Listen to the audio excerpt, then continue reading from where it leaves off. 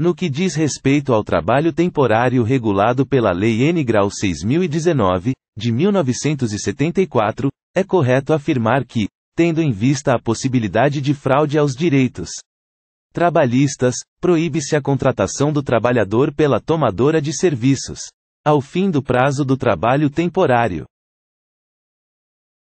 Analisando a questão, você responde: verdadeiro ou falso? O gabarito é falso. Artigo 11. Parágrafo único. Será nula de pleno direito qualquer cláusula de reserva, proibindo a contratação do trabalhador pela empresa tomadora ou cliente ao fim do prazo em que tenha sido colocado à sua disposição pela empresa de trabalho temporário.